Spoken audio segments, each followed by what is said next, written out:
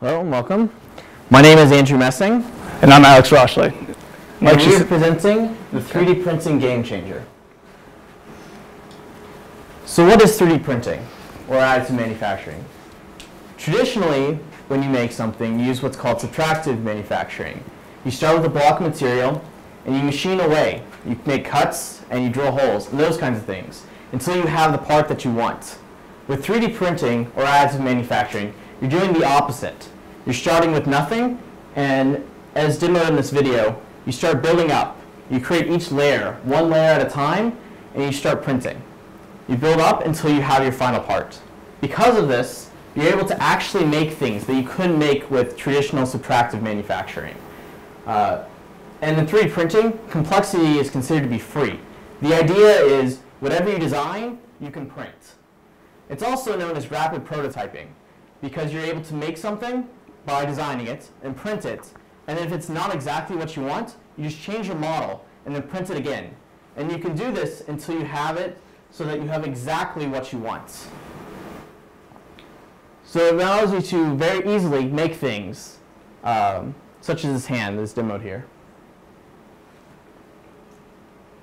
So first we have small scale 3D printing, which is what you just saw in that video. This is like a hot glue gun that moves around in the X and Y directions, depositing a layer of plastic.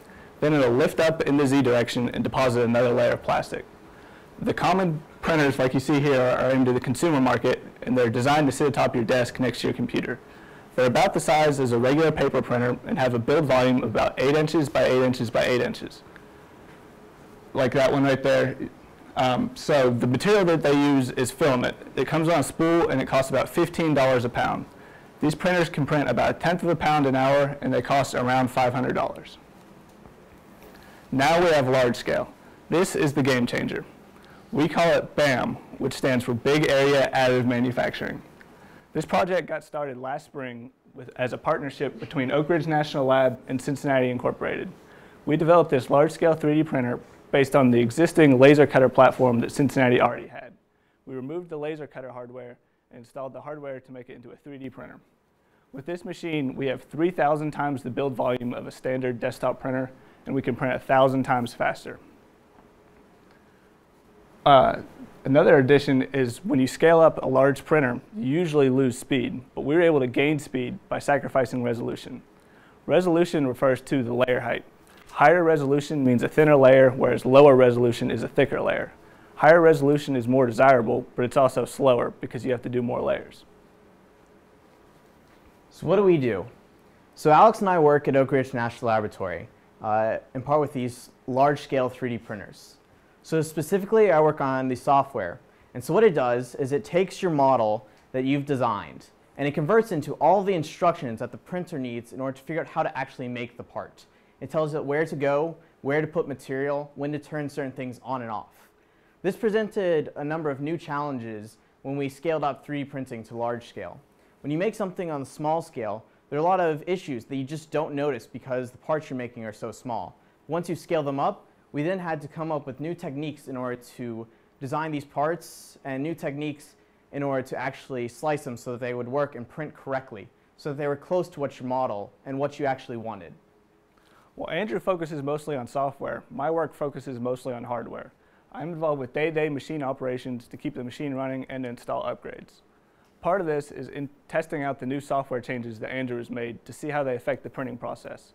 I've been uh, involved with design work such as a Z-leveler, which helps keep the part flat during printing, and it increases the layer-layer bond strength in the Z direction. I also do some computer design for outside companies to make computer models that are optimized to print on our machine. This is Strati. On the left, we have the computer-generated model, and on the right is the actual thing. Just six months after we announced the 3D printing project, we made the world's first 3D printed car. Strati was the winning design in the Local Motors crowdsourcing design competition. In just 44 hours, we were able to print the main body of the car in a solid piece in front of over 100,000 people at the International Manufacturing Technology Show in Chicago. And just a few days later, the engineers at Local Motors were able to fully assemble this electric car and have it driving.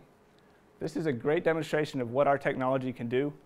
And since that first car, Local Motors has made several more, several more versions of the Strati to show how repeatable and reliable our process is. So after the Strati, what's next? We'd continue to develop the technology and continue to improve the techniques that we'd use to make things.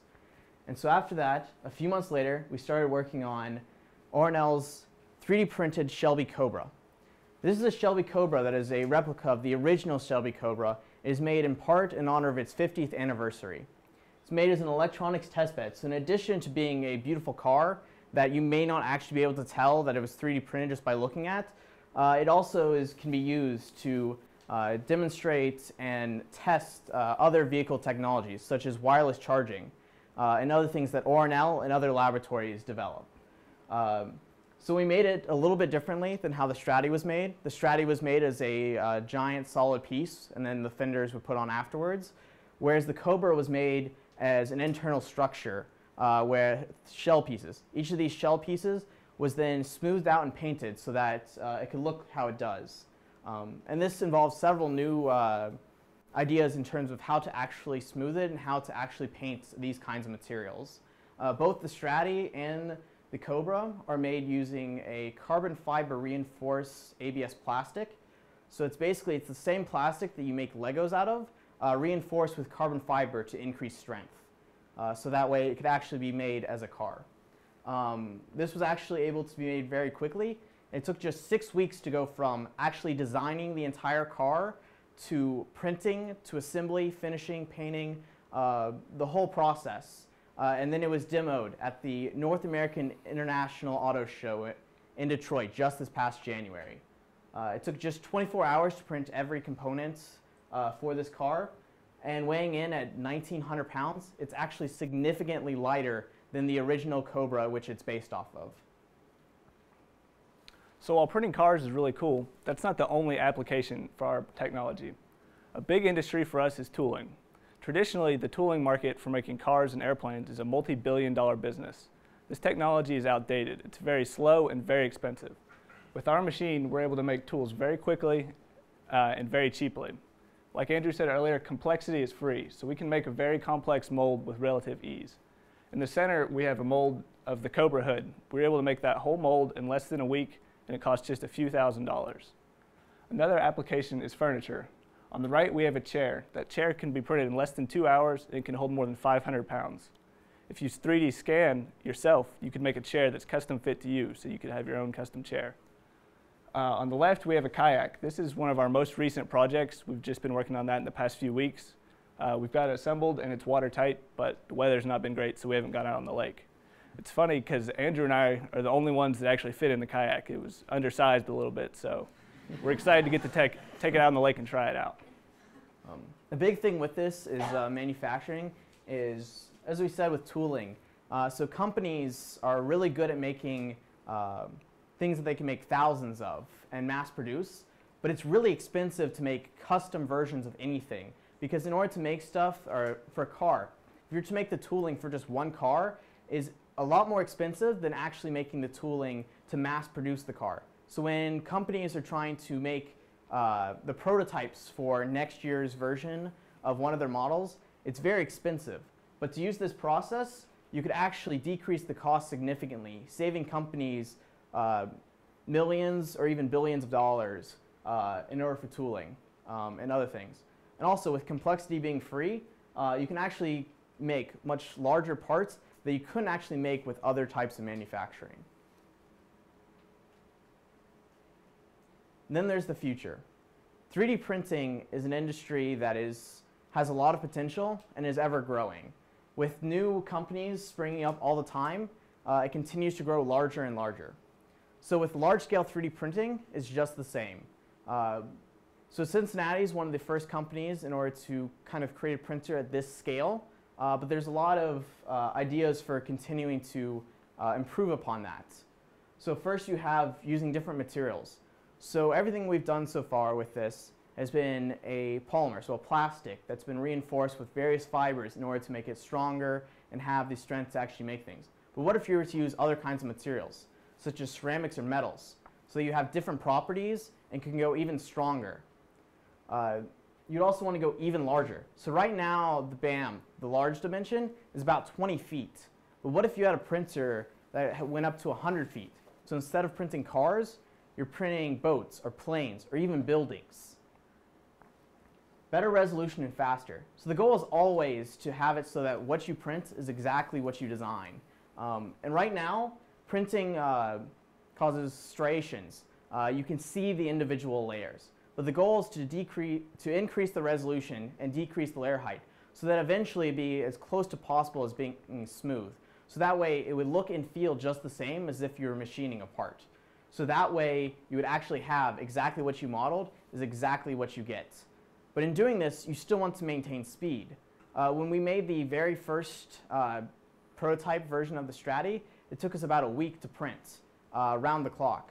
Uh, in the end, it took less than two days to make. But the goal is to increase the speed so that you also take very little time. Instead of taking uh, months or weeks in order to make things, the goal is to get it down to days or hours. So better processing of models is more of a software thing. As I said, the goal is always to have it so that exactly what you design is what you make, and current processes don't allow for that. Um, currently, all the softwares that are out there use an approximation of the model. So they don't use the exact model itself, and so what you get is close, but it's not exactly what you designed. And so then you have to go back and you have to machine it a little bit just to get exactly what you want. So the goal is to continue to improve upon it so that exactly what you imagine is exactly what you have in the end. So these are the TED letters. Each letter takes about two hours to print, and they're made out of the same carbon fiber reinforced ABS material as the cars. Now you're probably thinking, why would we make a car out of ABS? That can't be very durable. Well, do you remember the last time you stepped on a Lego brick? I bet it hurt, and I bet you didn't break it. And so now we're going to hit one of these letters show you how durable it is.